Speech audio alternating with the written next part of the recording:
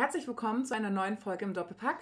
Günstiger. Einer Schlüsselfolge quasi. Ähm, neben mir sitzt der WM-Finalist Italien unter den Podcastern, der liebe Tommy. WM-Finalist Italien? ja. Verstehe ich nicht. Nee, weil Italien ja so oft im WM-Finale war und du bist ja auch so ein großer Finalist. Ach so, okay. Das war eine Schmei es- ich habe dir ein bisschen geschmeichelt. Ich habe die Schmeichelei nicht ganz verstanden. Entschuldigung. Zu meiner Rechten, Stefanie, die. Ähm, komm, wir bringen es einfach nochmal. Die Bettina Rust des Doppelpacks. Ja? Also ich Ja. würde mir, ich hätte, wenn ich einen Wunsch frei hätte, ähm, würde ich mir wünschen, dass jetzt auch, dass du dir auch mal ein bisschen kreativer was ausdenkst über mich. Du kannst nicht jede Folge sagen, dass ich die Bet Bettina Rust bin. Okay, okay, okay. Nächstes Mal Hausaufgabe eingetragen und dann kriegen wir das hin. Okay. Ähm, Wir sind zurück, nachdem wir unsere erste Premierenfolge mit Jörg ähm, veranstalten durften. Vielen Dank nochmal an dich, Jörg, wenn du jetzt zuhörst. Ähm, wir haben immer noch drei Freitickets für eine Hypno-Session. wir möchten uns auch äh, über das, äh, für das viele Feedback bedanken zu unserer ersten Folge. Da ist zahlreiches eingegangen und ähm, wirklich hauptsächlich positives Feedback, was Tommy und mich natürlich sehr, sehr freut. Ähm, auch heute sind wir wieder nicht alleine. Heute bei uns ist der Julian, eingeflogen aus Südtirol. So Hallo. Julian erstmal. Hallo.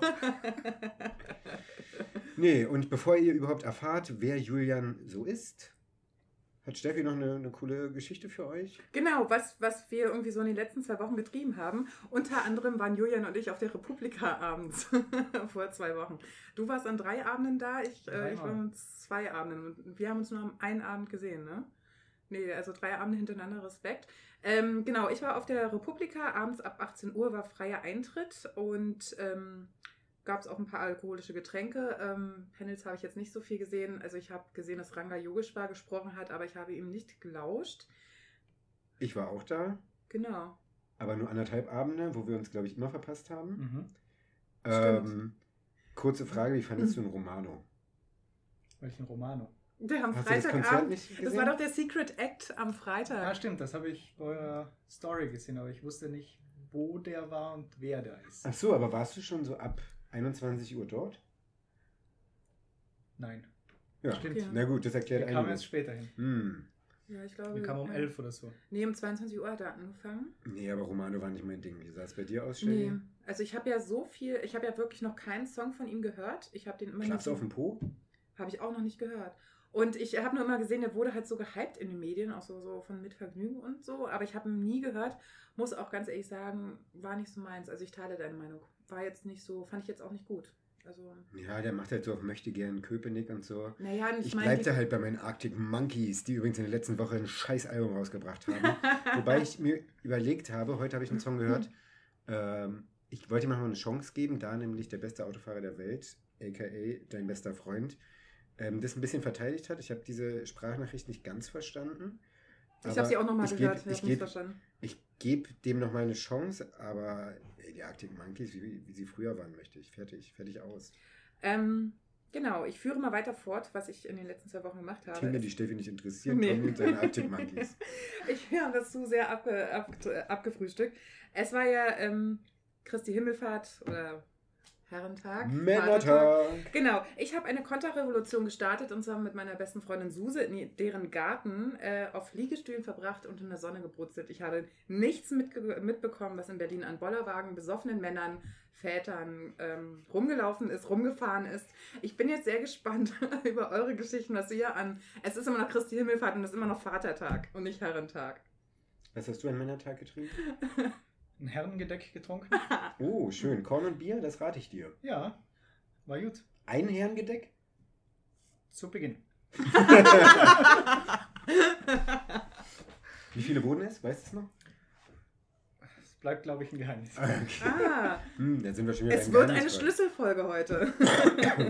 Oh, Tom, Tommy, was hast du am Herrentag gemacht? oh, ich Äh, möchte dir nochmal kurz, kurz, kurz sagen, dass es äh, mich den Umständen entsprechend gut fühle, nachdem ich Du hast Männerschnupfen gehabt. Montag, Dienstag krankheitsbedingt ausgefallen bin und arge Angst hatte, den Männertag 2018 nicht zu erleben. Aber ich bin Kämpfer. Ich habe mich durchgekämpft und habe den Männertag gefeiert. Ja, wer letztes Jahr zugehört hat, was ich ähm, an meiner Tag gemacht habe, es war genau dasselbe wie jedes Jahr. Ähm, morgens um 11 Uh, morgens um 11 haben wir uns in Eichwalde, meine Heimatstadt, ähm, getroffen. Wir waren natürlich wieder ähm, etwas später dran. Und ich wurde kontrolliert von der lieben BVG und S-Bahn. Und ich habe meinem Kumpel André gesagt, ähm, in Ostkreuz, hol mein Fahrradticket ABC, damit wir mit unseren Fahrrädern hinfahren können. So. Und ich habe schon gedacht, das wäre so Quatsch, weil es ist halt Herrentag, ja, ganz ehrlich. Welcher Kontrolleur stellt sich freiwillig in eine Bahn und äh, kontrolliert Genau Fahrräder? dann kommen die Kontrolleure. Das ist absoluter Bullshit, ohne Scheiß. Ihr wisst ja schon, dass es jetzt kommen wird, aber das ist eine Frechheit der, der Natur, ich sag's euch. Ähm, also, wir steigen ein und hatten halt unser ABC-Fahrradticket über die App gebucht und ja, alles cool. Ähm, so, dann sind wir in Grünau, letzte Station vom C-Bereich. Ähm, ja, und ich hatte eine Monatskarte, die aber nur AB galt. Ja, Hm. dann fährt die Bahn los und auf einmal stehen die zwei äh, Kontrolleure auf. Nein. Und ja, dann zeigt man die Fahrkarte. Ich hole meine Monatskarte raus, sie wird abgescannt und ähm, dachte dann schon so, ah ja, cool, hat er abgescannt. Und im gleichen Moment sagt er, ja, und der Anschlussfahrausweis? Fuck. Und ich so, oh scheiße, habe ich nicht dran gedacht. Habe aber auf meinen Kumpel verwiesen, der für uns zwei Monatskarten übers Handy, äh, nicht Monatskarten, Fahrradkarten für ABC genießt hat. Ja, und dann hat er gesagt so, ja, nee, hm, blöd. Also er war eigentlich ziemlich nett, weil er meinte dann zu mir, ja, also Ausweis her, dann hat er da meine Daten aufgenommen. Ich wurde noch nie, nie kontrolliert, also doch, ich wurde schon mal kontrolliert, aber ich, meine Personalien wurden noch nicht aufgenommen. Naja, dann hat er meine Personalien aufgenommen, meinte dann zu mir, ja, ähm, da gehst du morgen mal zur S-Bahn am Ostbahnhof und dann ist alles cool. Ähm, beziehungsweise kannst versuchen, dann noch was zu retten. Ja. Ähm, die Kollegin von ihm meinte noch so, ja, äh, müsste er denn nicht auch noch 60 Euro bezahlen? Und der so, nee, nee, es war ja sein Verschulden. Ich habe auch gesagt, ja, es ist mein Verschulden. Und, äh, also eigentlich hätten wir 120 zahlen müssen. War dann am Freitag da und dort hat sie gesagt, ja, ich viel muss eine E-Mail zahlen schreiben. müssen? Äh, ich muss eigentlich 60 schreiben, aber ich habe eine sehr charmante E-Mail geschrieben, die demnächst auf Twitter zu finden sein wird. Ähm, egal wie die ganze Geschichte ausgeht. nee, und äh, Ähm. Herrentag, ja. Bierball mit ehemaligen Schulfreunden habe ich gespielt. Dann äh, noch mehr Bierball, noch mehr Bier und Volleyball und Fußball. Dort haben wir wieder ein kleines Kind ähm, aufgegabelt, was mit uns mitspielen konnte, weil wir wieder ungerade Hat waren. es angefangen zu weinen, als es dich gesehen hat? Ähm, ja, vor Glück, weil er hat gesehen, wie man richtig geil Fußball spielen kann. Ich habe also ein paar Tricks habe ich rausgehauen, da war ich. uiuiui. Dabei liegen deine besten Tage ja auch schon sehr lange Das zurück. stimmt allerdings. Also wäre ich jetzt noch in Form. Boah, das wäre Ja. krass. Naja, auf jeden Fall, das war mein, mein Männertag. Irgendwann um neun sind wir zu Hause gelandet. Und Dafür warst du am Freitag relativ fit im Büro. Also ich war sehr erstaunt am Freitag. Da ich bin zu alt für Kater. Okay, ich glaube, das ist ein Statement, was die letzten zwei Wochen, glaube ich, ganz gut zusammenfasst. Und ich würde sagen, wir lassen das jetzt auch einfach mal so stehen. Okay, dann lassen wir das so stehen. Okay. Ähm, dann ähm, würde ich mal sagen, damit ihr überhaupt wisst, wer der Julian überhaupt ist, haben wir wieder einen kleinen, eine kleine Beschreibung. Ein kleines Intro Ein, vorbereitet. ich würde fast sagen Gedicht, Ein Gedicht. aber ein, ein Gedicht für die Ohren. Und von daher, Wird Hört das rein. stehend vorgetragen? was? Nein, nein, nein, nein. Das, Mit kommt, Orchester. das kommt vom Band, Mann. Seinen Schlüssel vergessen? Nicht mit ihm. Was unser heutiger Gast aber gut und gerne mal vergisst, ist sein Alter. Er vermutet 26 Jahre, plus minus. Das kann mitunter daran liegen, dass er meist im Kopf schon viel weiter ist als in der realen Gegebenheit. Er ist ein lustiger Typ, spontan, keck und nachdenklich.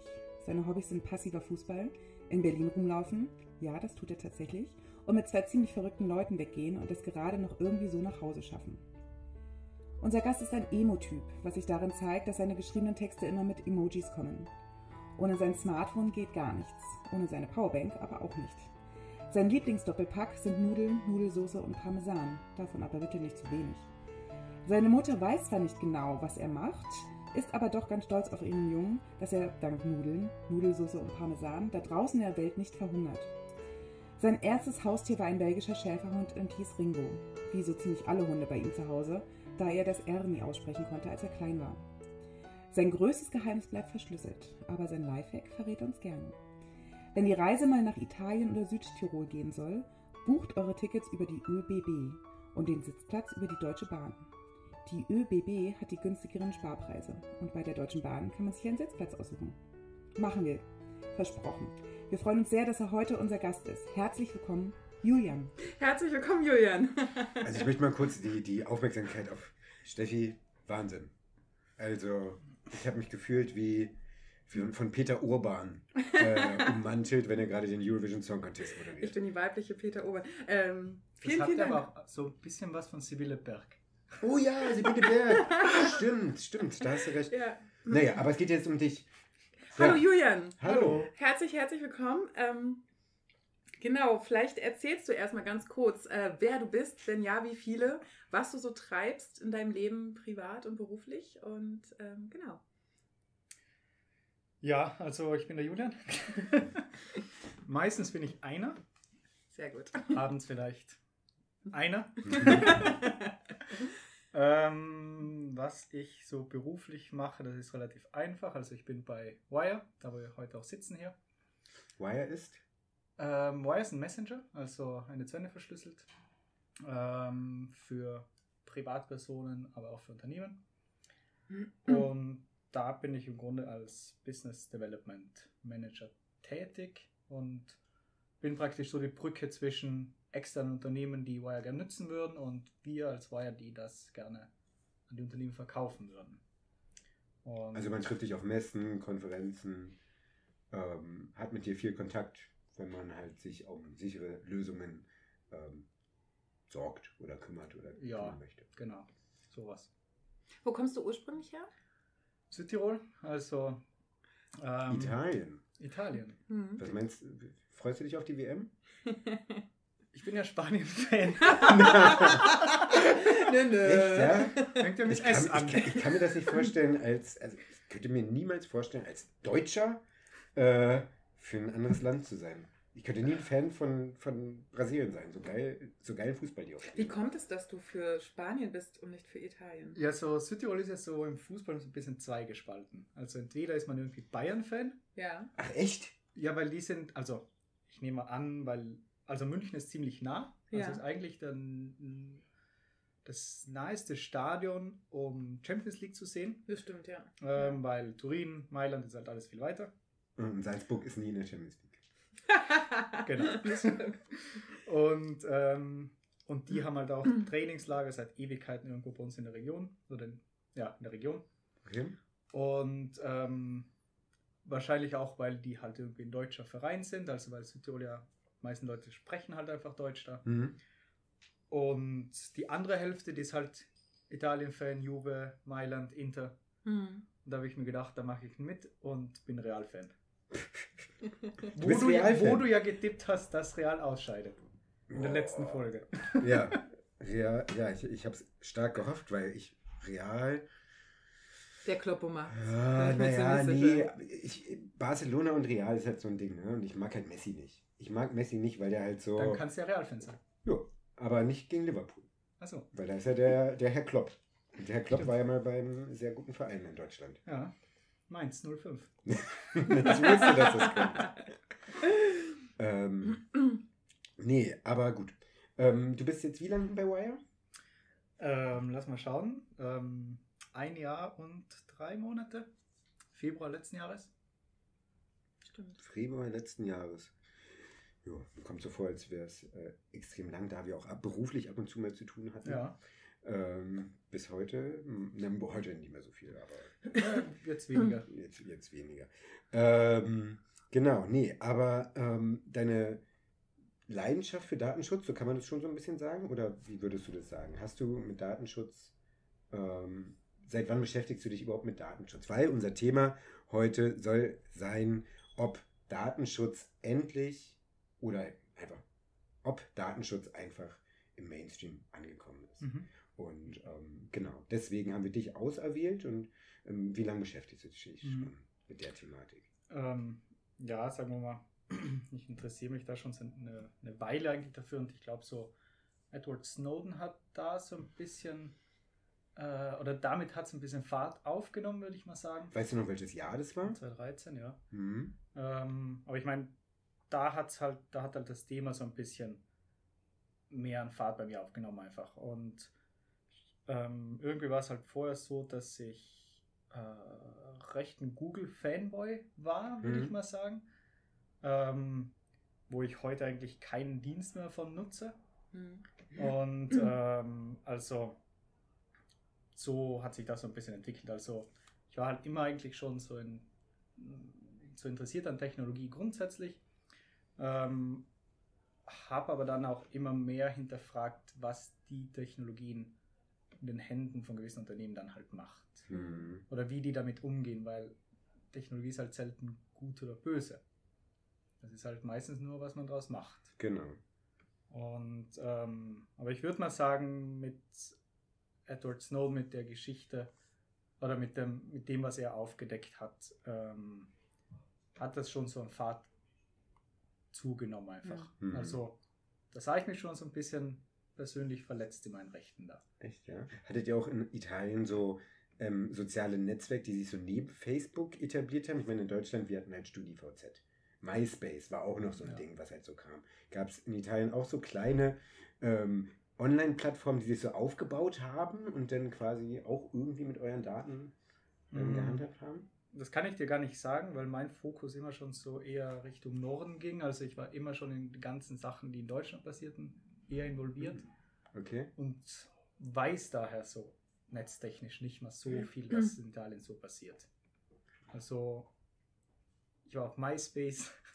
ähm, wie hat das eine Ding ge geheißen? Davor ähm, gab es Friendster. Nee, Friendster nicht, aber da irgendwie so ähnlich wie Netflix. Äh, Napster? Nee, Napster war was anderes. ich weiß es auch nicht mehr. Naja, ist ja, ist ja auch egal. Also ähm, für uns soll heute das Thema Datenschutz ähm, eine Mhm. große Rolle spielen, inwiefern uns das alle irgendwie betrifft und ähm, ob es jetzt nicht einfach an der Zeit ist, auch mal sich selber um Datenschutz zu kümmern. Und ähm, genau, das wird ähm, im Mittelpunkt stehen. Ich habe auch, oder sagen wir so, unser Redaktionsteam, was im Hintergrund arbeitet, Steffi und ich, wir sind nicht alleine, wir haben eine ganze Menge äh, Elfen im Hintergrund. Zehn plus Leute, die für uns recherchieren und äh, die Hintergrundarbeit ja. Herzlichen Dank nochmal dafür. Ja, dank, danke, danke an unsere Helfer. Genau. Nee, aber ähm, es gab jetzt äh, gerade erst eine YouGov-Studie, ähm, die ähm, besagt oder belegt, dass fast die Hälfte aller Deutschen das Gefühl hat, die äh, Kontrolle über die eigenen Daten verloren zu haben. Ähm, was schon mal positiv ist, dass es wenigstens ein Gefühl dafür gibt, dass man, Bewusstsein. mein Bewusstsein Ja. dafür halt da ist, ähm, dass äh, die Daten nicht unbedingt sicher sind. Und ähm, darüber hinaus ähm, ist die Mehrheit auch der Meinung, ähm, dass ihre Daten innerhalb und außerhalb des Internets nicht ausreichend äh, geschützt sind. Dementsprechend nimmt halt dieses ganze Thema Sicherheit und Privatsphäre ähm, in diesen Tagen halt extrem an Fahrt auf. Ähm, und das ist irgendwo schon meines Erachtens ein Durchbruch in unserer digitalen Zeit, die ja in den letzten Jahren ähm, viele Neuerungen mit sich brachte. Natürlich ist Deutschland ja noch so ein Land, wo die Digitalisierung so ein Stück für Stück geht. Ähm, aber es kommt mehr und mehr auch beim äh, Normalverbraucher an. Und ja, das aktuellste Beispiel ist natürlich der Facebook-Skandal, Mhm. ähm, wo sich ja der Herr Zuckerberg vor einigen Wochen verantworten musste. Und der wurde richtig geroastet. Also das war eine absolute Farce. Also was da, hast du das verfolgt? Ja, Also, Das war sehr interessant, so ein ja. bisschen. Also, das ist wirklich stark und ich glaube, das war auch ein entscheidender Impuls, weil es ja auch durch die Nachrichten ging, wie er sich verhaspelt hat, wie er, also nicht verhaspelt hat, aber wie er Sachen gesagt hat, die einfach nicht so äh, stimmen können, äh, beziehungsweise die so konform mit dem Gedanken sind, wie halt, was halt Datenschutz mit sich bringt. Und ähm, Wobei eine Sache würde ich da anmerken, wo er wurde, er wurde ja so, oder die, die, die ihn befragt haben, wurden ja so ein bisschen als plump dargestellt. in Ich meine, ich wollte gerade sagen, die Senatoren, die haben ja noch weniger Ahnung gehabt. Und Ja, das sich teilweise aber- auch in den Fragen wieder gespiegelt hat. das in, in, bei manchen Fragen war das auch so ein bisschen plumpen dargestellt nachher. Ja. Wie zum Beispiel das, wo er den Senatoren da so ein bisschen erklärt hat, wie Ende-zu-Ende-Verschlüsselung funktioniert oder dass WhatsApp gar nichts lesen kann, weil die ja Ende-zu-Ende-Verschlüsselung haben. Damit ist die Geschichte aber gar nicht fertig. Also das wurde nachher so ein bisschen plump dargestellt. Aber die Sache ist ja auch die, dass die, ähm, da gibt es da gibt's so eine Geschichte, ich, ich müsste es schauen, müsste die nachschauen, aber ähm, die habe ich auf Medium gesehen von einem Online-Magazin, die, die noch irgendwelche Screenshots aus, aus älteren Jahren hatten von WhatsApp, wo die ihre Maschinen oder ihre Geräte, ähm, wo die ein Backup davon gemacht haben, teilweise und auch von den WhatsApp-Daten. Und ähm, Facebook hat halt, also, oder Apple hat ja irgendwann diese Family Container oder äh, Shared Containers eingerichtet, wo du halt deine Produktfamilie praktisch in einen Container schmeißen kannst, damit die im Betriebssystem miteinander kommunizieren kann. Genau. Und halt bei Facebook das Ding halt Facebook, Facebook Messenger und WhatsApp ist. Mhm. Wo dann der Facebook Messenger zum Beispiel auf die Daten von WhatsApp zugreifen kann, mhm. die auf der Festplatte liegen am Gerät. Mhm. Also jetzt am Mobiltelefon. Ähm, da schützt halt keine Ende-zu-Ende-Verschlüsselung vor. Ja, klar.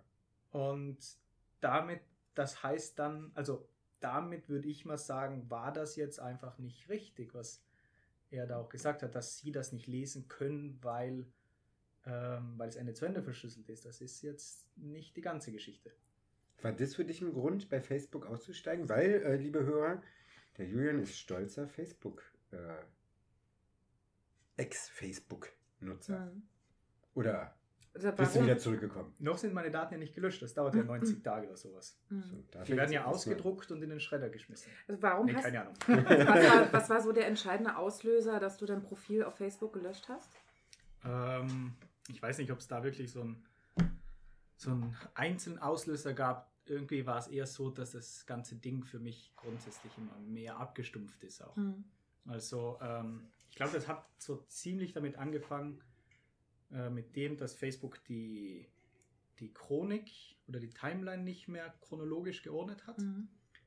du meinst das, den Newsfeed jetzt? Genau, genau, ja. Und das wurde dann halt irgendwo immer uninteressanter für mich, weil ich wollte halt so quasi die Nachricht oder die, die Statusmeldung meiner Freunde chronologisch so ein bisschen verfolgen. Mhm. Und nicht so, wie es jetzt irgendein Algorithmus für mhm. mich vorsehen möchte. Mhm. Ähm, und seitdem habe ich schon mal die nicht mehr so wirklich verfolgt, weil irgendwie war das ganze Ding halt nur noch uninteressant irgendwo. Ähm, das ist relativ ähnlich wie das, was jetzt gerade auf Instagram passiert. Ja, also, da ist es, glaube ich, am spürbarsten. Also für mich ja. jedenfalls. Also ich sehe da komischerweise tatsächlich nur Sachen, von denen ich, die ich am meisten like, sag ich mal. Also ja. viele Leute, obwohl sie halt chronologisch vorne wären, ähm, deren Post sehe ich gar nicht mehr. Genau. Deswegen bin ich immer auf Platz 1. Was soll ich jetzt dazu sagen, Tommy? Du bist tatsächlich auf Platz 1. Ich sag's doch. Ich mache halt auch coole Bilder, kommt da auch noch dazu. Ne? Ähm, ja. ähm, hat sich, also was, ich meine, ich, ich habe mir mal vorgestellt, ich wusste ja nur, dass du Facebook gelöscht hast. Und bei mir ist es tatsächlich, ich habe es tagtäglich an. Äh, ich lebe von diesem Newsfeed, den mhm. ich habe, weil ich halt ganz viele Nachrichtenseiten, auch was jetzt beruflich zu tun hat, so im Bereich Marketing, BR, äh, PR, ich abonniert habe und ich da meine Infos immer komprimiert bekomme. Ähm, was hat sich für dich äh, geändert oder verändert, seitdem du Facebook gelöscht hast? Vermisst du es? Ähm, ich würde nicht sagen, dass ich es vermisse irgendwo, aber was man halt merkt, ist so, so eine bestimmte soziale Komponente, die so ein bisschen fehlt, grundsätzlich. Mhm. Ähm, aber irgendwie ist mir das auch erst nachher aufgefallen. Ähm, nicht, weil ich das nicht mehr verfolgen konnte, was da passiert, sondern eher war das, zum, das war eher so, dass ich in der Zeit, wo ich es gelöscht habe, war ich gerade so auf Heimaturlaub in Südtirol für eine Woche und ein bisschen, acht Tage, glaube ich, sowas waren es. Und ich habe halt auf Facebook so Service-Meldungen gemacht. Achtung, ich bin jetzt bald nicht mehr hier. Mhm. Ihr könnt mich noch dann hier, hier und hier lesen oder mit hier mich kontaktieren. Ähm, und das Lustige war halt, dass ich Leute da getroffen habe dann zu Hause, die mich dann darauf angesprochen haben und gesagt und, und das halt wahrgenommen haben, dass ich da jetzt das lösche, auch wenn die das niemals geliked haben.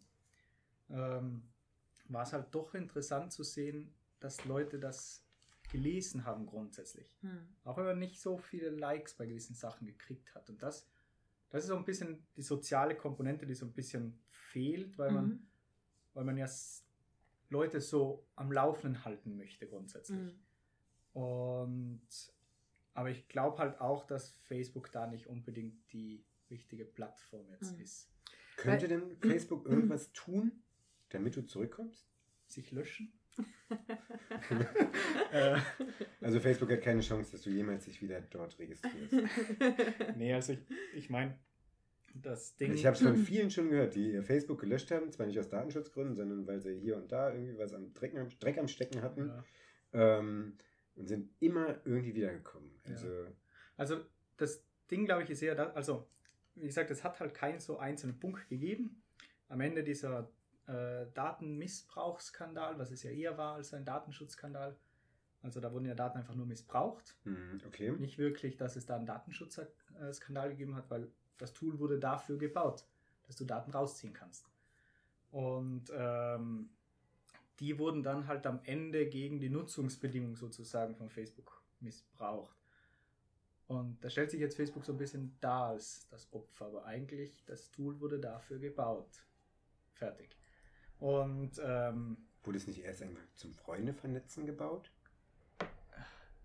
Das wurde mal, das wurde ja mal als Hot or Not gestartet. Also ich weiß nicht, ob Ja, das, ja. Ich dieses- mich. ob das Ähm, wirklich zum Vernetzen Facebook so gedacht irgendwie war. ist, ich glaube, es war die grundsätzliche Idee, ich glaube, wurden immer zwei Leute gegenübergestellt und dieses Jahr Darum 100, ja. Facebook, weil Ja, du genau. zwei Gesichter hast, die gegenübergestellt waren. Es war doch so ein Campus, ähm, äh, auf, auf dem Harvard-Campus wurden doch die Studenten gegenübergestellt und wer ist heißer? Genau. So. Aber da waren halt, da waren halt Ja. nicht nur Frauen dabei. Das ist auch nicht fall, äh, richtig. Das heißt es zwar manchmal, aber Es waren Männer auch dabei. Ja, ja, ja. Ich, ich weiß nicht, ob das dann am Ende wirklich war, aber so irgendwie habe ich mal gelesen, dass eben Männer, irg Männern ir- irgendwelche Schweine gegenübergestellt worden sind, damit halt jemand, der heute noch bei Facebook ist, dann am Ende eben als der Tollste dastand am Campus, keine Ahnung. Also so, so habe ich das so ein bisschen mitgekriegt, aber ähm, am Ende war es halt wirklich der Skandal, wo, also ich hatte halt immer wieder so viele Punkte, wo ich gesagt habe, jetzt könnte ich es mal löschen. Ich brauche es eigentlich nicht mehr. Dann habe ich Geburtstag gehabt im Januar und haben mir irgendwie über 100 Leute gratuliert. Da kriegst du dann tausende von Benachrichtigungen, jeden Tag eine neue. Du hast über 100 Geburtstagsgratulationen bekommen. Wie viele Freunde hast denn du gehabt? 1200 oder so. Was? Echt? Ja. Echt? Ich war schon so kannte ich. stolz auf meine 500. Und die kannte ich auch alle. Ja, ich, ich kenne die. Ja, ich dachte jetzt nicht, dass da irgendwie äh, Fake-Leute. Nee, nee. Ich habe aber, ich hab aber noch eine Frage und zwar, du, du bist jetzt nicht mehr auf Facebook. Mhm. Ich weiß aber, du bist auf Instagram aktiv. Mhm. Und Instagram gehört ja, wie wir wissen, nun auch zu Facebook. Ja. Ähm, wie gehst du damit um? Weil äh, da, das sind ja die gleichen Richtlinien, gehört mit zu dem Unternehmen. Und Instagram bist du noch aktiv, oder? Ja, ähm, aber nur noch, ich nutze im Grunde nur noch einen Teil von dem Produkt. Und das sind eigentlich nur noch die Stories, weil die sind ja wirklich noch chronologisch. Ja. Mhm. Ähm, und der Rest, den schaue ich eigentlich gar nicht mehr an. So will, also eigentlich gar nicht mehr. Und, ähm, und ich kriege jetzt gerade auch die Meldungen, dass jetzt dann meine Daten dann zukünftig von Facebook Inc. in, in Irland verwaltet Genau. werden. Nicht mehr von, von Instagram, wie, vor, wie es vorher war. Mhm. Und ich klicke das momentan Mhm. relativ erfolgreich weg, aber irgendwann, ich glaube, irgendwann ist halt Stichtag Ende Mai, ich glaube, es ist sogar der 25. Ähm, wo das dann nicht mehr geht. Und ich weiß noch nicht so hundertprozentig, was ich mache, aber ich, ich glaube, ich, das läuft einfach aus dann bei mir. Und dann kann Mhm. ich nicht mehr klicken und dann kann ich halt, ja, dann Mhm. kann ich halt nicht mehr klicken. Fertig. vorbei.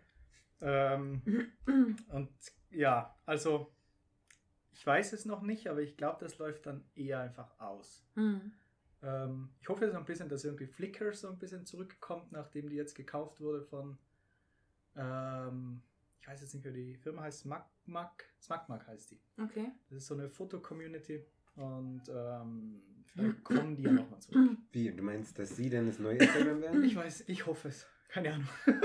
Warum, warum stehst du so auf Flickr? Nee, aber ähm, das ist halt dann so praktisch ein bisschen die europäische Alternative Mhm. dazu, Hm, okay. eventuell. Äh, ich weiß es nicht, also keine Ahnung. Aber es war schade um WhatsApp, wo die das verkauft haben. Ja. haben. Es war schade um Instagram, wo die das Ding verkauft Mhm. haben. Ja. Ähm, da, da sprichst du gut was an, weil ich würde jetzt gerne mal zum, ähm, zum eigenen Datenschutz kommen, zu unserer digitalen Privatsphäre. Ähm, du hast vorhin schon so ein bisschen erzählt, wie lange du dich damit beschäftigst, dass du es äh, so mit Edward, Snowden anfing. Ähm, die digitale Privatsphäre ist ja für viele Menschen von uns überhaupt nicht greifbar. Also wenn wir zum Beispiel im realen Leben etwas Privates sagen wollen, ziehen wir uns in einen Raum zurück und sprechen unter vier Augen. Ähm, wenn wir aber äh, per Messenger ähm, kommunizieren, sagen wir mal, nehmen wir mal einfach mal WhatsApp, teil, sind wir so, äh, sind wir einfach so offen wie nie. Also wir teilen dort private Nachrichten, manchmal auch Kontodaten, private Fotos von unseren Kindern, keine Ahnung, vielleicht auch mal Bikini-Fotos. Ähm, Vor allem ich. ja, Bikini-Fotos von Tommy kriege ich einfach ständig. Ähm, warum machen wir sowas? Also wir würden sowas, wir würden ja nicht auf die Straße gehen, Bikini-Fotos von uns an die Laternen hängen. Warum teilen wir sowas äh, über unsichere Messenger wie zum Beispiel WhatsApp? Warum ist es da nicht so greifbar? Warum machen wir sowas? Also in der Öffentlichkeit machen wir es ja nur, wenn wir dafür bezahlt werden. Also Models machen das ja nur gegen Bezahlung. ja, Tommy auch. Trifft, Ja, da jetzt, hier nicht so, ne? trifft da jetzt das Model aber auch zu? Kein Kommentar. Ja. So, weiter. Können wir die Frage beantworten? Also ich, ähm, ich glaube, das ist eher einfach so, dass Menschen einfach kommunizieren wollen grundsätzlich, weil sie halt einfach soziale Wesen sind, Mhm.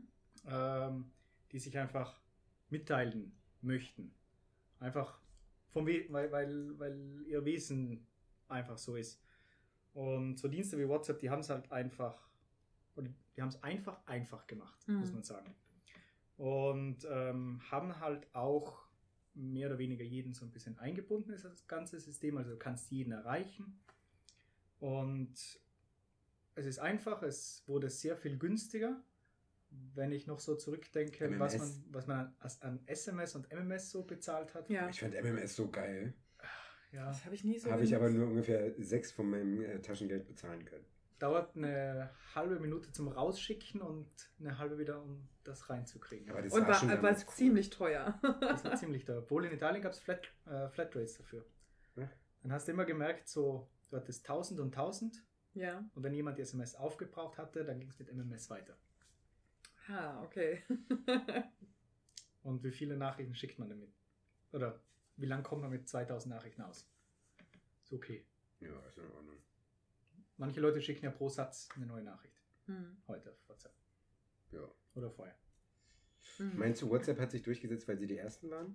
Also, die ersten, die das ähm, auf, erstein, auf erstaunlich einfache Weise gelöst haben, ja. Hm. Wer Also die gibt es ja schon seit 2008 oder 2009. ja. Und kostenlos halt war. Und kostenlos, Keine beziehungsweise Werbung. diese 90 Cent, die es mal gekostet hat. Ja. Ah, hat es tatsächlich, das ich weiß habe ich gar nicht. zwei mehr. Jahre Doch, dafür gezahlt. Ach, weil ich auf- WhatsApp war am. An äh, Anfang, hat was gekostet? Weil okay, ich- das wusste ich gar Weil nicht. ich auf Android war, weil es da früh implementiert wurde und Mhm. weil ich ziemlich früh da war. Hm. Da habe ich da zwei Hm? Jahre dafür gezahlt. Ja, genau, ich auch wahrscheinlich. Gab, was, was, weißt du, was für andere Chatprogramme zu der Zeit waren? Was, ICQ gab es ja irgendwann, glaube ich, auch mal kurz fürs Handy. ICQ gab es vorher. Gab es vorher, aber, Aber fürs Handy Erst, erst, jetzt später, oder? Irgendwann. Vor ein paar Jahren erst, ja. Ja. Die haben das ziemlich verpasst, das Ding. Dann gab es wohl irgendwie Blackberry Messenger oder sowas, aber das Problem da war halt immer nur, dass es nur Blackberries war. Ja, klar. Ähm, pff, MSN gab es ja noch. Stimmt, MSN gab Skype. Ich meine, Gab es Skype auf, Messenger, äh, auf dem Handy, Smartphone? hm, nicht so früh, Nee. zumindest nicht zu der Zeit. 2014 startete Wire, wenn ich mich. Also ich Ja. weiß noch, wie ich Wire in der Studienzeit äh, irgendwo hatte ich es jetzt gelesen. Ich war ja Android-Blogger Mhm. und äh, da habe ich halt gehört, dass es jetzt einen Messenger gibt, den es ähm, auf dem Smartphone als auch auf dem Computer zu nutzen Mhm. gibt. Und das fand ich ziemlich cool und es war halt mal was anderes. Wobei ich mich ehrlich gesagt auch da nicht um Sicherheit gekümmert habe Mhm. oder geschert habe. Hm. Also ähm, Aber ähm, zurück äh, nochmal zu der Frage. Also wir kommunizieren gerne Ja. und ähm, vernachlässigen dadurch halt auch so ein bisschen, haben so eine laissez-faire-Einstellung dann gegenüber der Privatsphäre oder ist es uns egal, dass jemand mitliest. Zum Beispiel, was könnte passieren, wenn Tommy äh, mir sein Bikini-Foto schickt oder seine Kontodaten, seine empfindlichen, was könnte theoretisch mit den Daten passieren? Also, Wer, also was kann damit jemand wirklich anfangen, um mir zu schaden? Also ich, ähm, also es ist ja nicht so, dass da wirklich ein Mensch sitzt, der dann die Daten durchwühlt, so aktiv am PC sitzt und dir dann zuschaut. Das ist halt, also dafür gibt es einfach zu viele Leute ja. und zu viele Nachrichten, die mal da eben durchgehen. Also es ist halt einfach ein Algorithmus, der das macht, mehr oder weniger. Ähm, das Problem ist halt einfach mal das, dass wenn du die Daten irgendwo anders hingibst, dann verlierst du halt die Kontrolle drüber. Das ist ungefähr so, also das ist ja, wenn du irgendwas in die Cloud stellst, dann ist das ja immer noch auf einer Festplatte, nur nicht auf deiner. Hm. Das ist eine Cloud. Das ist noch nicht deine Festplatte, das ist alles. Und das ist ungefähr so, wie wenn du zu Tommy gehst und ihm einen Joghurt in seinen Kühlschrank reinstellst und hoffst, dass das nächste Woche noch da ist. Vergiss alles. Also, so ist das mit, mit einer Cloud grundsätzlich. Da, Das ist schön bildlich, äh, schön, schönes bildliches Beispiel, ja. Jetzt kann ich mir das auch mal langsam vorstellen. Weil natürlich wäre der Joghurt nicht mehr da. ja, der wäre nicht mehr da oder der wär, da hätte jemand reingespuckt. Das kann auch sein. Hm. Ich will jetzt nicht sagen, dass das Tom ist, aber grundsätzlich kann das passieren. Ich habe unfassbar dreiste Mitbewohner. Grüße. Und ähm, also du kannst halt dann nicht sicherstellen, ähm, wie oft diese Daten kopiert werden, ob sie gelöscht werden, wenn du sie löschen willst, oder ob sie wirklich gelöscht werden. Ähm, ob sie gelöscht werden, wenn du es gar nicht willst, zum Beispiel, zum Beispiel das wäre ja auch ein Problem, weil du hast einfach die Kontrolle nicht mehr drüber. Hm. Ähm, so richtig problematisch wird es halt dann, ähm, wenn all diese privaten Informationen irgendwo mal dann in so eine einzelne Datenbank zusammengetragen werden. Hm. Also nur jetzt mit deinen Bikini-Fotos, da Tommys Bikini-Fotos. äh, Tommys Bikini-Fotos, so. Ähm, da fängst du jetzt halt mal nicht so schnell was an, sagen wir mal, aber ähm, das ist jetzt vielleicht auch ein blödes Beispiel mit den Bikini-Fotos, aber ähm, grundsätzlich, wenn du die alle mal zusammenfügst, alle Daten, die du so erzeugst und generierst, Hm. ähm, das können wir halt jetzt gerade so in China so ganz gut beobachten mit diesem neuen Social Scoring System, Ja. die das, was sie da einführen. Das, das bedeutet was? Also, das bedeutet im Grunde, dass, dass jede Aktion, die du machst, jede Nachricht, die du schreibst, jeden Schritt, den du machst, dass der in irgendeiner Weise gewertet wird. Also hot or not, so quasi. Okay. Ähm, und du kriegst Punkte für.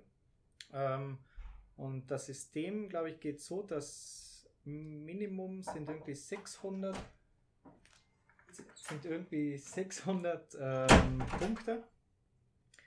Und ähm, Wir hatten kurz Besuch. ja. also Minimum sind irgendwie 600 Punkte und irgendwie 1200 oder sowas, glaube ich. Und dazwischen drin wirst du irgendwo gewertet. Mhm. Und damit wird auch so ein bisschen dein Leben bestimmt. Also ähm, du brauchst eine gewisse Anzahl, damit du äh, zum Beispiel einen Kredit fürs Haus kriegst. Damit du überhaupt einen Kredit kriegst für dein neues Auto. Oh Gott, okay. Wenn du die falschen Freunde hast, dann geht das natürlich direkt runter. Ja. Wenn, Social Scoring. Genau, also da wird einfach, einfach mal alles gewertet, was du machst. Positiv oder negativ. Du kannst natürlich Parteilieder singen, dann geht das Score wieder hoch. Ähm, Ah, okay. Problem ist halt meistens in den Sachen, wenn du da mal weiter, weiter unten bist, da kommst du nicht mehr so einfach hoch. Mhm. Mhm. Also, ähm, das ist halt so. Ich meine, das, das ist jetzt in Deutschland zu einem gewissen Teil auch so mit der natürlich völlig transparenten Schufa, Mhm. wo natürlich jeder weiß, wie die wertet. Mhm. Also natürlich nicht. Ähm, und da ist es halt auch so, du weißt eigentlich gar nicht, wie die Schufa dich wertet und wie du deinen Score wieder hochkriegst. Also du weißt eigentlich nur, ähm, dass, dass der mehr oder weniger nur schlechter werden kann. Und du, du, du kannst ihn nicht so wirklich nach oben pushen, weil du einfach nicht weißt, wie das geht. Mhm. Und die Schufa ist halt auch nur ein privates Unternehmen, die das damit Geld macht aktuell. Ja. Aber führ mal das zusammen mit all den Informationen, die der Staat einfach hat. Und weil aktuell kauft die Schufa halt nur Informationen. Die kauft die von Kreditkarteninstituten und Mhm. Data Brokern und was weiß ich. Und führt das dann ein oder, oder äh, Vermieter melden da bei der Schufa was und kriegen natürlich als Gegenleistung äh, die Information, dass der, der jetzt mieten will, liquide ist. Mhm. Ähm, ja, das ist auch nicht gerade das tollste System. Also das Problem ist halt, dass man auch hierzulande so ein bisschen auf dem Weg dahin ist. Hm. Und Also das ist ein bisschen der feuchte Traum von jedem Law and Order Politiker, würde ich mal sagen. ja, Teilweise auch. Wahrscheinlich. ähm, kurze, kurze Frage bezü bezüglich der Daten, was man mit denen machen kann. Wenn ich jetzt zum Beispiel ähm, von Steffi 30 Bikini-Fotos bekomme und sie auf allen Bikini-Fotos, also ich kriege sie per WhatsApp geschickt, äh, wenn ich auf all diesen Bikini-Fotos ein Adidas-Bikini sehe, könnte theoretisch künstliche Intelligenz zum Beispiel rausfinden, ah ja, Adidas trägt sie gerne und mir das im Facebook-Feed als Werbung ausspielen? Wäre das möglich? Wenn man es so sieht? Kann sein. Ich arbeite nicht bei Facebook, ich weiß nicht, was die machen. Aber Nee, nee, aber theoretisch würde es die Technologie erlauben, ähm, aus Bildern quasi Markennamen rauszufiltern, um Mhm. sie dann quasi bei Facebook weiterzuverwenden und dort zum Beispiel eine Werbeanzeige zu machen, auch wenn, liebe Freunde von Facebook, ihr das bestimmt nicht macht. Also ich meine, ähm, zum gewissen Teil passiert das ja auf Facebook, wo, wo Bilder einfach gedeckt werden. Wo, wenn du zum Beispiel eine nicht so schnelle Internetverbindung hast, Ja, also am Desktop jetzt, dann siehst du, dass das so als Platzhalter bei den E-Mails als alternativer Text, dann steht, ähm, zum Beispiel, da sind jetzt drei Mädchen am Bild, die rumlaufen. Dann steht halt da Mädchen oder Kind, Lachen, Sonne, irgendwas. Also da wird halt das Foto so ein bisschen analysiert einfach. Und das ist dann halt klar, klarerweise ein einfaches, dem noch Gesichter zuzuordnen, Hm. weil das hat Facebook auch schon mal gemacht. Das mussten die aber in, de, äh, in der EU ausschalten. mhm. Kommt jetzt aber natürlich wieder. Ähm, also die haben in die neuen Richtlinien von der Datenschutzgrundverordnung haben die auch, also mit der Ankündigung davon haben die auch direkt mal die Gesichtserkennung eingefügt. Und das ist jetzt da natürlich ein leichtes, da einfach Logos zu erkennen, klar. Aber ich weiß nicht, ob das gerade passiert, das kann ich nicht sagen, aber wäre möglich, ja, warum nicht? Okay, krass. Weil ich hab, also gibt es dafür Belege oder Beweise, dass was man spricht, ähm, quasi auch Einfluss auf die Chronik bei Facebook hat? Ähm, Aber ich weiß nicht, ob es da, also wir müssen jetzt nicht über Beweise oder irgendwas sprechen und auch gar, gar nicht gegen Hetze, aber das ist theoretisch möglich. Das wäre theoretisch möglich, je nachdem, wie das Betriebssystem das zulässt, klarerweise, ja. Okay? Ähm, ich meine, da gibt es ziemlich viele Leute, die das auch schon so ein bisschen beobachtet haben, auch teilweise so ein bisschen, also ich glaube, T3N hat das sogar te- getestet, Mhm. kam da aber nicht zu allzu großartigen Ergebnissen. Okay. Ähm, also das ist auch relativ schwierig, weil du weißt halt nicht, wann das Hm. eintrifft, ob das überhaupt passiert. Aber ich muss halt, also mir ist das auch schon passiert, wo ich über zwei Sachen wirklich nur gesprochen habe und wo ich über die gesprochen habe, aber die nicht bei mir, sondern auf einem Gerät von einer Freundin äh, als Werbung angezeigt wurden Hm. wo Okay. sie gar, also wo ich gesagt habe, ich fände das cool, aber sie hat das dann als Empfehlung gekriegt. Inwiefern das das da reinspielt, Mhm. also ich meine, da, da kommt halt viel zusammen, Mhm. weil du kannst halt freigeben, dass das Mikrofon ähm, für Facebook freigegeben ist, wenn die App offen ist. Ähm, also ich meine, da, da hängt viel zusammen, also je nachdem, wie die Einstellungen sind, aber ob das gemacht wird, weiß ich nicht. Also ich habe so ein bisschen was erlebt, aber ich Gut, aber, zu wenig, um zu sagen, das ist ein Beweis jetzt. aber im Endeffekt kann der Nutzer schon auch Dinge in die Wege leiten, damit Services, Online-Services nicht die Daten bekommen, die ich nicht wirklich rausgeben möchte. Wie zum Beispiel, indem man das Mikrofon deaktiviert für Services, dass man denen dann nicht sagt, ja, nee, ähm, eine Freigabe dafür ähm, möchte ich nicht geben, dass halt das Mhm. Handy irgendwas hören kann. Oder beziehungsweise die App, die man gerade nutzt. Und ähm, da kommen wir dann zu unserem nächsten Punkt, oder? Genau. Ähm, ob du äh, konkrete Schritte übernimm, äh, unternimmst, um deinen äh, digitalen Fußabdruck im Internet möglichst klein zu halten oder zu minimieren ähm, und wie diese Schritte aussehen könnten. Äh, Ja, schon. Ähm, also, das ist so ein bisschen ein Zwiespalt auch irgendwo bei mir, weil, weil ich halt doch irgendwie so recht kommunikativer Mensch grundsätzlich bin. Hm. ähm, aber im gleichen Moment halt auch so mein Recht auf Privatsphäre hochhalten möchte. Hm. Und dann pendelt das halt meistens so ein bisschen her, oftmals auch vom einen Extrem ins andere, Hm. ähm, wo ich dann auch irgendwelche Dienste mal äh, exzessiv nutze, um die einfach auch mal auszutesten und zu sehen, was das so kann. Aber im gleichen oder im nächsten Moment das schon wieder komplett runterschmeißen und nie wieder nutzen. Ja. Also ähm, ganz verschieden, aber ich weiß nicht, es gibt so grundsätzlich so eine Reihe an Tools, die ich für, für verschiedene Zwecke so nutze. Also ähm, wir haben ja, also die meisten nutzen wahrscheinlich Google irgendwo, Deutschland jetzt nicht, nicht ganz so viele wie jetzt in den USA teilweise auch, aber da nutze ich zum Beispiel DuckDuckGo für, ähm, mache eine Suche nur darüber. Mhm. Ähm, also das hängt halt einfach auch damit zusammen, dass, dass zu einer Suchmaschine ist man halt am ehrlichsten, weil wer sucht schon nach falschen, nach Sachen, die er nicht gerade Mhm. denkt. Hm. Und das ist halt manchmal so ein bisschen wie ein Gedächtnisprotokoll, wenn man seine Browser-Historie durchschaut und auch die Suchhistorie. Hm. Stimmt, ja. Und das muss ich nicht unbedingt mit einem Konzern teilen, was ich, was ich so denke. Mhm. Ähm, also da gibt es ja auch Geschichten, dass teilweise Frauen, die nach einem Schwangerschaftstest Test gegoogelt haben, äh, wo Google vor dem Vater überhaupt wusste, dass die jetzt schwanger ist zum Beispiel. Klarerweise. Weil man ist halt meistens zu Google einfach ehrlicher als zu Mhm. zum eigenen Freund zum Beispiel jetzt in Mhm. dem Falle. Ähm, weil den lügt man noch eher mal an. Würde ich mal sagen. Ähm, Gibt es noch andere ähm, Tools, wie wir unseren digitalen Alltag ein bisschen sicherer gestalten können, die du empfehlen würdest? Oder was du so Ja, also ich meine, wenn wir das so ein bisschen auf Kommunikation eingrenzen, also ich habe da ziemlich viel, wo ich auch so grundsätzlich einfach ähm, so ein bisschen tracke, was bei mir zum Beispiel an Verbindungen rausgehen, vom jetzt zum Beispiel am PC hier. Ähm, Little Snitch? Little Snitch in dem Falle, ja. Ah, ich auch, ich auch. Das ist Genau. mir sehr wichtig. Ähm, was aber natürlich auch wieder ein bisschen komplex werden kann, weil man ja nicht, nicht immer weiß, okay, was ist denn jetzt das gerade? Mhm. Also es Das ist nicht stimmt. also ich meine, das ist jetzt schon ein recht fortgeschrittenes Tool Mhm.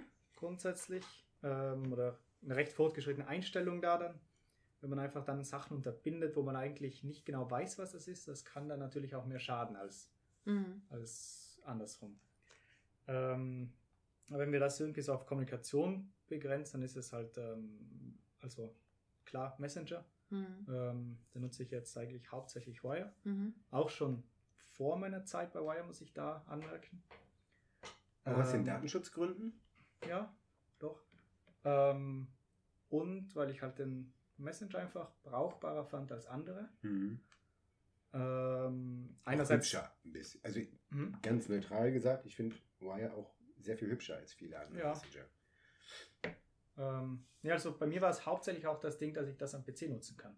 Genau, wie ich gesagt habe, das waren meine Ja. ersten Schritte, die ich mit Wire gemacht habe. Ja. Aber es hat halt keiner damals genutzt. Ja, weil zu der Zeit gab es auch, sagen wir mal, WhatsApp nicht, dass, das am, P- dass Mhm. man das am PC nutzen Das kam auch konnte. relativ spät erst bei WhatsApp. Ja, ja. Und du musst es halt trotzdem immer noch mit einem Ja. Mobiltelefon pairen. Ja. Und da bin ich natürlich ziemlich gut drin, weil ich, äh, ich glaube, vier verschiedene SIM-Karten habe aus vier Hm. verschiedenen Ländern. Und dann hast du irgendeine Nummer bei WhatsApp. Und das heißt dann, bei mir in dem Falle, muss ich den Leuten verschiedene Nummern geben. Das heißt, ich gebe dir jetzt eine Nummer, damit du mir bei WhatsApp schreiben könntest. Mhm. Plus, wenn du mich anrufen willst, dann krieg, musst du bei der Nummer anrufen. Und so geht das dahin. Und, Äh, ähm, Das wird unübersichtlich. und ich habe schon mal Menschen zu der Zeit noch irgendwie drei verschiedene Nummern gegeben, wo die mich dann auch jedes Mal erfolgreich auf der falschen angerufen haben. Und Eine von den 1200 Bekanntschaften. vermutlich. Ich habe noch eine, eine letzte Frage. Ähm, äh, vielleicht auch nochmal ganz wichtig. Ähm, was ist mit E-Mails? Also E-Mails, äh, Verschlüsselung. Ähm, ist das notwendig? Ist das wichtig? Was, was, wie kann ich sozusagen, wenn ich jetzt privat, ich habe zu Hause auf meinem Rechner Thunderbird, ähm, ähm, kann, man, kann ich den verschlüsseln? Ist das notwendig? Was würdest du sagen? Was würdest du mir raten? Ähm, ja, ich würde mal sagen, warum nicht? Hm. Schadet ja nicht. Kann nicht schaden, ne? Also, ähm, ich meine, E-Mails werden ja bis zu einem, zu einem gewissen Teil schon verschlüsselt, würde ich mal sagen, weil die werden ja auf einem Transportweg verschlüsselt heute bei Mhm. den allermeisten Anbietern, ähm, so wie ein Brief einfach. Ja. Ähm, trotzdem werden die halt immer vom Hausmeister dann geöffnet. Das ist halt in dem Moment der E-Mail-Provider. Ja. Ähm, das heißt, zwei Leute oder zwei Unternehmen wissen schon mal was über dich. Ähm, also dein E-Mail-Anbieter und der andere. Ja, genau. Ähm, und die werden von dem geöffnet, von diesem Hausmeister, will ich den mal nennen, und auch eingesehen. Ähm, deswegen werden halt E-Mails auch meistens so als Postkarten angesehen. Hm. Ähm, und ich weiß halt nicht, ob man da wirklich einen Unterschied zu anderer Kommunikation machen muss, Hm. weil ich meine, in E-Mails liegt halt ziemlich viel Privates rum, wo man Sachen mit rekonstruieren kann. Also ich kriege zum Beispiel ähm, Bestätigungen, dass ich gerade meine Fahrt mit Coop abgeschlossen habe. Ich kriege eine Bestätigung, dass ich gerade den Flug gebucht habe. Hm. Ähm, ich krieg, also man kriegt halt unmöglich viele Bestätigungen Ja. und Sachen in sein E-Mail-Postfach. Und da hast du dann halt schon so einen ganzen Tagesablauf einfach mal drin. Ja. Ähm, Kann man auch schön nachverfolgen, was du so am Tag machst und was du planst in dieser Ja. Zeit. also ich glaube, da kann man ziemlich viel rekonstruieren, was man eigentlich nicht möchte. Ja. Also ich meine, da ist jede Bestellung einfach drin. Ja. Ähm, kannst du gerne mal was bei Amorelli hier bestellen und dann geht's los.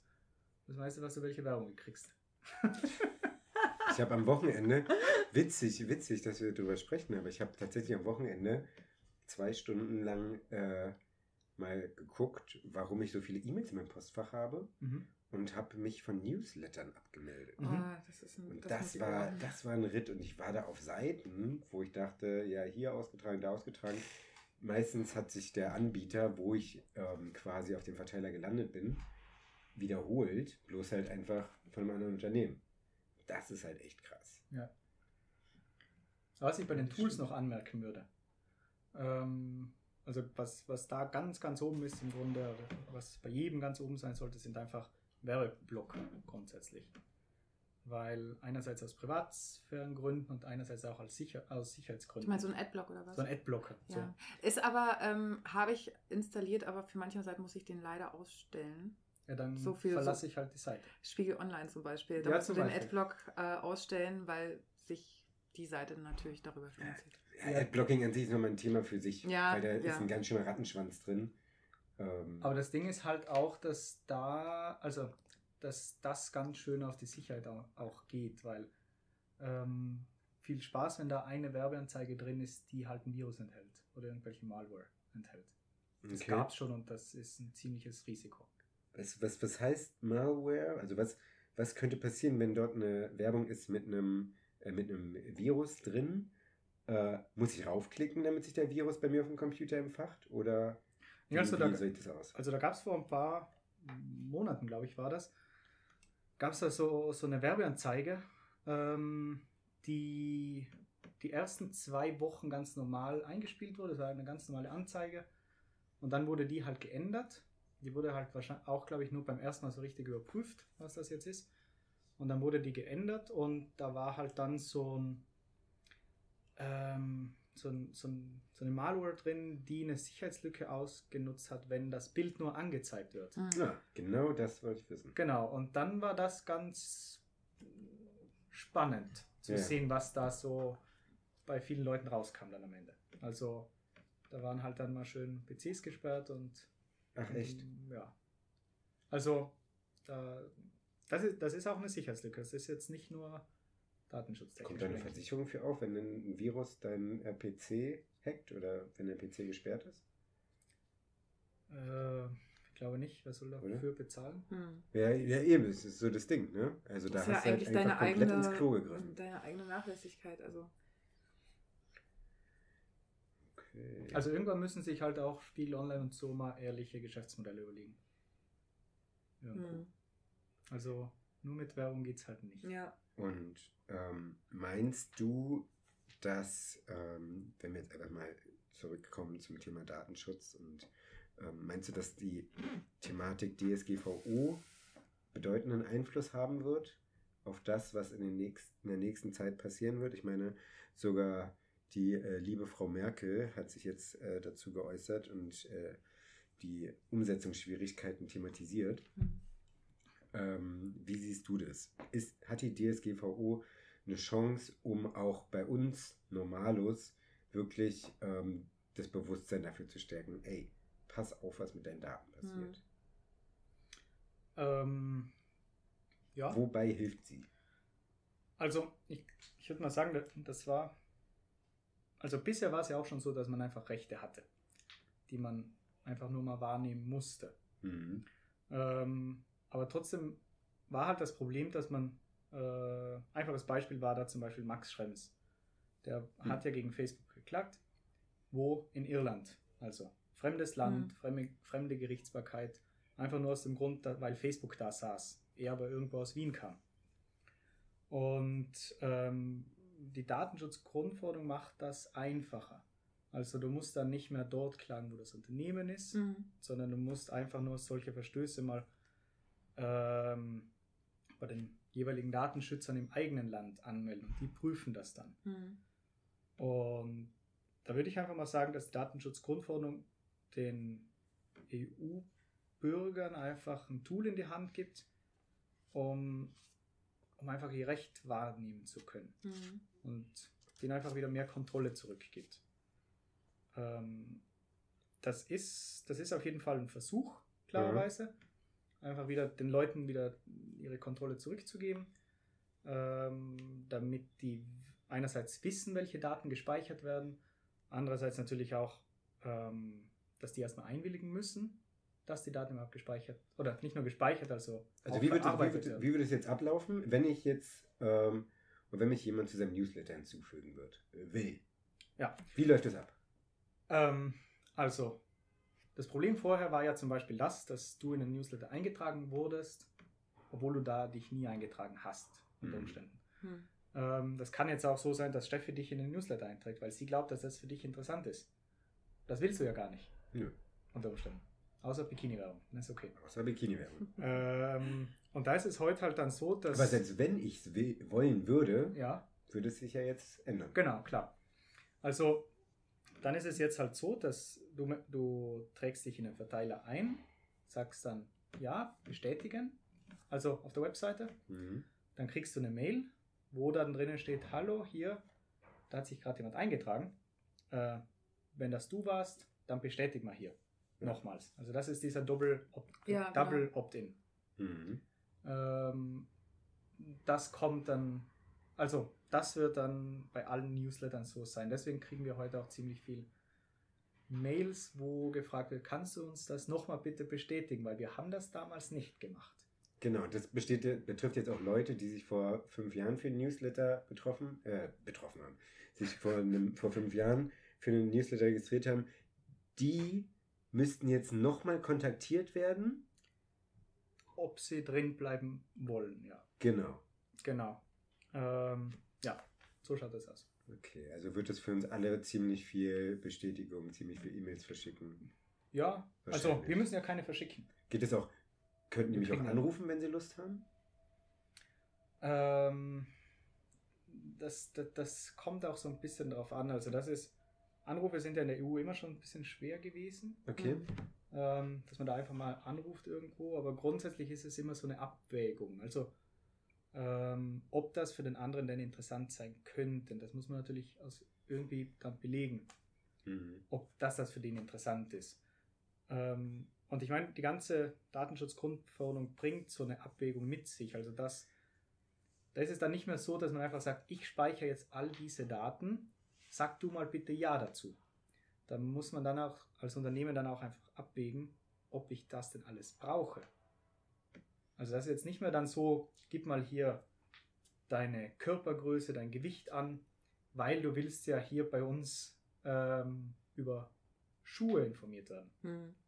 Das ist dann, das sind dann personenbezogene Daten unter Umständen, die du nicht brauchst. Ja. Und das ist halt dann auch sowas, was du einfach dann mal bei so einem Datenschützer dann melden kannst und die dann das einfach verfolgen.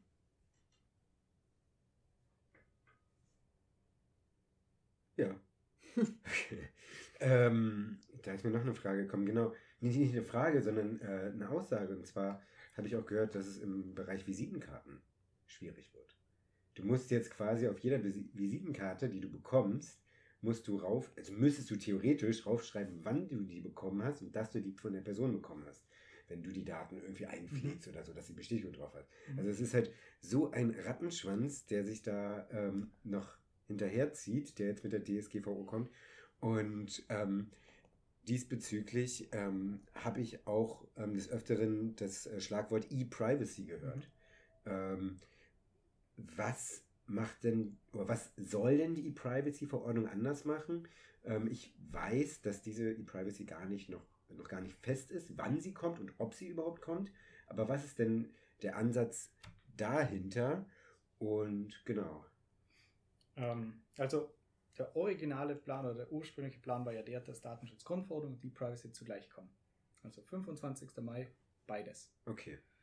Ähm, aber die E-Privacy hat sich da halt ziemlich verzögert oder sagen wir etwas verzögert. Mhm. Ziemlich wäre jetzt Jahre, würde ich mal sagen. Also das glaube ich ist noch okay.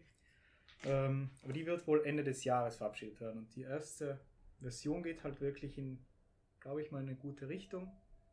Ähm, der Unterschied ist einfach der, dass die Datenschutzgrundverordnung ist so allumfassend. Also Ja. die betrifft jetzt nicht Mhm. nur Internet, sondern die betrifft halt alles. Hier Mhm. Visitenkarten zum Beispiel.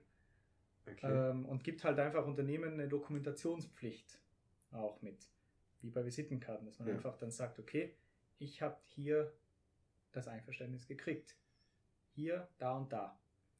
Ähm, und das ist halt ziemlich allumfassend. Und die E-Privacy hingegen ist halt, ähm, erweitert die Datenschutzgrundverordnung so ein bisschen ähm, und bezieht sich halt nur auf elektronische Kommunikation. Also im Grunde ist die, also die Datenschutz, also die Quatsch, die E-Privacy ist im Grunde der Nachfolger von diesem Cookie-Gesetz, was wir kennen von allen, von sehr vielen Webseiten, wo dann steht, Achtung, diese Website verwendet Cookies. Mhm. Mhm. Willst du mehr erfahren? Oder ist okay? Ja, Ist okay, klar. Dann machst du okay. Und ähm, die, das ist im Grunde jetzt der Nachfolger. Mhm. Und Mhm. die regelt halt dann jetzt nicht mehr nur, dass du deine Webseitenbesucher über Cookies informieren musst, sondern auch zum Beispiel ähm, allgemein elektronische Geräte, Verarbeitungstechniken oder den, die Browser-Einstellungen. Das ist ja jetzt gerade so ein bisschen ein Thema, wie privacy-freundlich oder wie viel Privatsphärenschutz soll ein Browser standardmäßig haben. Mhm. Also wenn du den das erste Mal installiert, installierst, dann gibt es halt Standardeinstellungen, die dann mit der neuen E-Privacy strikter sein werden als heute. Zum Beispiel, dass, zum Beispiel, dass Cookies nicht mehr von allen Seiten akzeptiert wird, sondern nur noch von denen, die du besuchst zum Beispiel. Weil vorher war es ja so, wenn du auf Spiegel Online gehst, dann kriegst du mal 90 andere Tracker rein, wo einer davon eventuell Facebook ist und die setzen halt einen Cookie für dich. Und obwohl du die Seite gar nicht besucht hast. Mhm. Und ähm, der aktuelle Vorschlag geht halt in die Richtung mal, dass sowas dann nicht mehr per Standard im Browser eingestellt ist. Also das ist im Grunde eine Erweiterung einfach zur Datenschutzgrundverordnung. Okay. Und je strikter die ist im Grunde, desto stärker wird so dieses gesamte Gesetzesbündel, würde ich mal sagen. Okay. Und ähm, um dieses ganze Thema noch äh, zum Ende zu bringen, ähm, haha, Moment, jetzt kommt's. Ende zu Ende Verschlüsselung. Inwiefern kann uns denn Ende Ende zur Verschlüsselung, Ende zu Ende Verschlüsselung helfen? Ich meine, viele kennen es aus WhatsApp, dass die Nachrichten Ende zu Ende verschlüsselt sind.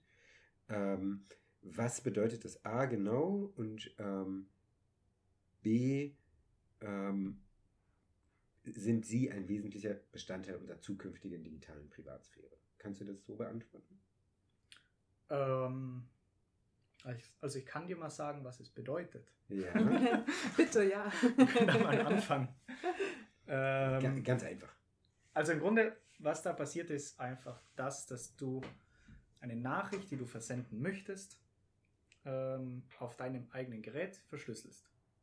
Das musste jetzt, also wie es jetzt bei Messengern ist, ähm, machst du das ja nicht wirklich aktiv, sondern das macht der Messenger mit seinem Programmiercode, mit seinem Quellcode einfach für dich. Mhm. Der verschlüsselt die Nachricht, schickt sie zwar über einen Server, der aber damit nichts anfangen kann, außer dass er weiß, wohin er das schicken muss, ähm, an eine andere Person. Ja. Die kann das wieder entschlüsseln, weil du das genau für diese Person, ähm, weil du praktisch einen Auftrag gegeben hast, verschlüssel das für diese Person. Mhm. Und nur sie kann das entschlüsseln. Und nur sie kann das entschlüsseln. Und ähm, was da dann häufig auch mit, äh, mit einspielt darin, ist, dass neue Geräte zum Beispiel ja nicht darf, also dass die Nachricht nicht für neuere Geräte, die in Zukunft dazukommen, verschlüsselt wird. Und ähm, das heißt wirklich nur für einen aktuellen Zeitpunkt, die Geräte, die du hast, dafür ist es verschlüsselt.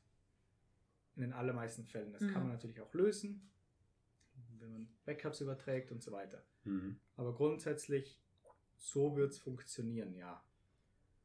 Und ähm, also ganz kurz gesagt einfach, nur der Sender und der Empfänger können es lesen. Fertig. So, Ähm. keiner dazwischen. Und ist es dasselbe, wie wenn ich eine E-Mail verschlüssel?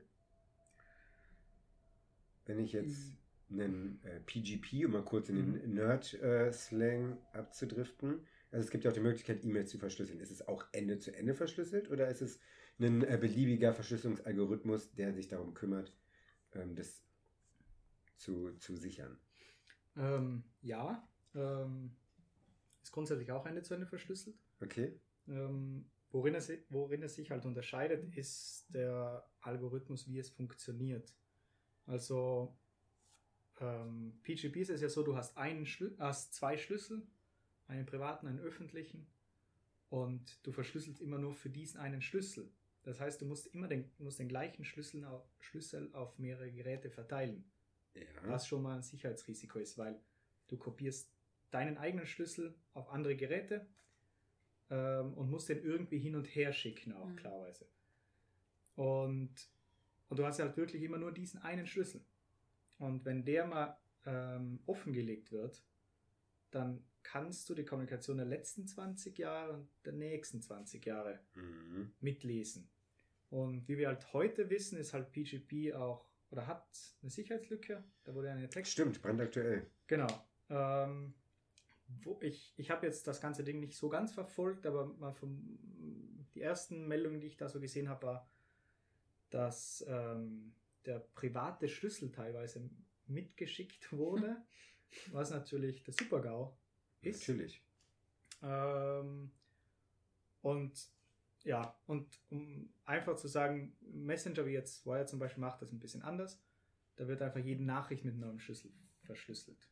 Und das heißt, ein kompromittierter Schlüssel ist dann nicht so viel wert, außer für diese eine spezielle Nachricht, Hm. Was dann verschmerzbar ist. Weil du die nächsten nicht weißt und die vorherigen nicht weißt. Mhm. Also du würdest eher Messenger nutzen als E-Mails. Richtig? Kann man das so sagen? Ähm, man kann es nicht für alles, man, man kann E-Mails nicht für alles ersetzen, aber grundsätzlich ja. Ja, und ich glaube, damit äh, haben wir einen schönen Bogen ähm, zu unserer letzten Frage. Und zwar, ob Datenschutz tatsächlich endlich, wie auch immer, im, Da- im Mainstream angekommen ist. Was, was würden wir sagen, liebe Diskussionsrunde? Also, derzeit noch nicht ganz, aber ich, es geht derzeit doch in eine richtige Richtung, oder wie seht ihr das? Ähm, also ich glaube halt, dass es einfacher wird für Leute, ihre, ihrem Recht Recht zu geben einfach. Also, dass die einfach die richtigen Toolsätze so ein bisschen in die Hand kriegen mit Mhm. den neuen Verordnungen auch. Die Ähm, Tools stellen sich ja auch danach auf. Also sie werden wahrscheinlich auch mehr das dem User einfacher machen, Ja, sicher zu kommunizieren. ja. Also ich meine jetzt auch schon die Gesetze teilweise als, als Tools sozusagen. Mhm. Okay. Ähm, und auch irgendwelche NGOs, die sich auch gerade formen, um diese Gesetze durchzu, ähm, ja, einzufordern einfach. Also Max Schrems hat ja jetzt eine neue NGO gegründet, Gesellschaft für Freiheitsrechte gibt es auch, die da ziemlich aktiv sind. Und es wird einfacher, sein Recht durchzusetzen, dann auf jeden Fall. Also, die Leute müssen zwar noch selber was machen, Mhm. aber die haben halt die einfachen Möglichkeiten als noch vor Jahren. Ja, und jetzt auch mit der ganzen Berichterstattung in den letzten Wochen, äh. Monaten auch, denke ich, dass sich dieses Bewusstsein immer mehr schärfen wird, Ja. dass es ähm, in die Richtung sicherlich, ich denke mal so, die Welt wird nicht komplett datenschutzsicher sein. Das ist, glaube ich, utopisch jetzt zu sagen, ähm, auch nach dem, was wir von dir erfahren haben. Ähm, aber wir gehen, glauben wir, in eine gute Richtung und ähm, damit würde Und- ich Steffi das Wort geben. Um nochmal den Bogen zu schaffen, äh, zu schaffen, wir schaffen uns nicht nur einen Offline-Raum, wo wir in Ruhe reden können, sondern haben heute auch die Möglichkeit, einen digitalen Raum ähm, privat zu kommunizieren, ohne dass jemand mitliest, der nicht mitlesen sollte. In diesem Sinne, unsere Folge war auch dieses Mal wieder Ende zu Ende verschlüsselt. ähm, nee, wir danken dir sehr für diese Infos, die du uns heute geben Und, konntest. äh, ich habe eine Und Menge heute gelernt. Vielen, vielen Dank, Julian. Also auch für, für mich nochmal, dass du das alles auch so schön einfach erklärt hast. Nein, Es- vielen Dank. Es war schon arg nerdig heute, aber Es war wir nerdig, auf versprechen euch, es geht auch mal wieder nicht nerdig. Seid gespannt, was wir als nächstes dabei haben. Wir äh, sagen Tschüss und danke, Julian. Vielen Dank. Vielen Dank. Bitte, bitte, für die Also Schlussworte. dank- danke, dass ich hier sein durfte. so. Ja, wir Gerne. sind ja bei dir eigentlich. Ne? Stimmt. Denn wir sind im Doppelpack Günstiger. mit Julian Steffi, und Tommy. bis zum nächsten Mal. Tschüss. Tschüss.